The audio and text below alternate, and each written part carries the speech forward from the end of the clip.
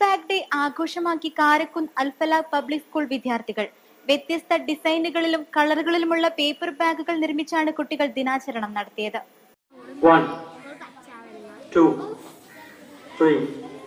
Plastic ഉൽപ്പന്നങ്ങളുടെ അമിതോപയോഗം ഭൂമിക്കും ഇതര ജീവികളുടെ നിലനിൽപ്പിനും ഭീഷണിയായിക്കൊണ്ടിരിക്കുമ്പോൾ പേപ്പർ നിർമ്മിതികൾ ബദലാവട്ടെ എന്ന സന്ദേശമാണ് ഇതിലൂടെ വിദ്യാർത്ഥികൾക്ക് നൽകിയത്.